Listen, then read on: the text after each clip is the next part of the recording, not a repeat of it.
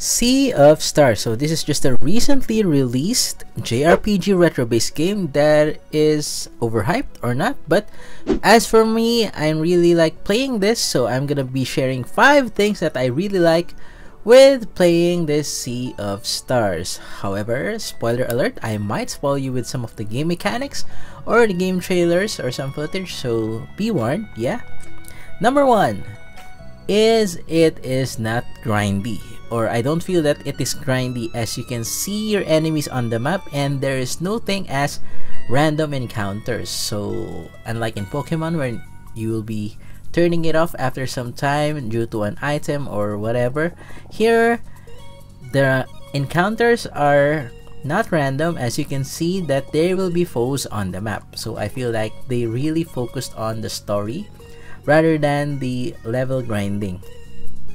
Number two is that the stage or the map is not boring. It's not based on area tiles and it's basically balanced between going up, down instead instead of other JRPGs which are mostly side scrollers.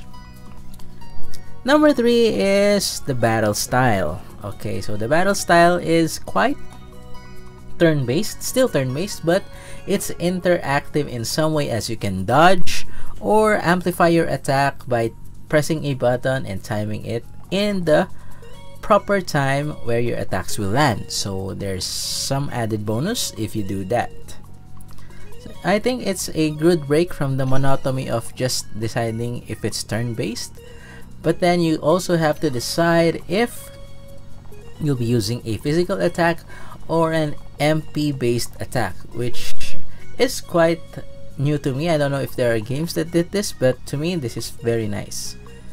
Number 4 is the art style. So I really like how it looks. It's really retro based. I remember the other games that I played played before such as the Final Fantasy Tactics, War of the Lions and yeah, so nostalgic.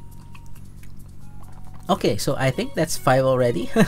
and let me give you some bonus is that the music. So the music is really nice. So I think the one who created the music as per the other reviewers is the one who composed the same with Chrono Trigger. However, uh, I haven't played Chrono Trigger, so I don't know how that sounds, but it's very nostalgic, JRPG style music. And the other things that I like about this is, so these are just bonus, is yeah the exploring. The exploring is really nice. So you won't get like lost in exploring a very very huge size map. To me it's just right. The map size is just right suitable for exploring. However i only played this for like an hour. So yeah don't judge me but as of now these are my initial thoughts. Let me know. How about you? Maybe we'll do a part two of this one if you like this one based on story or character development or the mini games that this game has. So yeah, those are the five things and maybe six, seven that I like about this game. So as you can tell by my voice, I'm very enthusiastic about this game. So I expect this game to be one of the heavy hitters of the JRPG genre. So like if you like this video, subscribe to our YouTube channel if you haven't subscribed yet, and see you on the next video. Take care guys!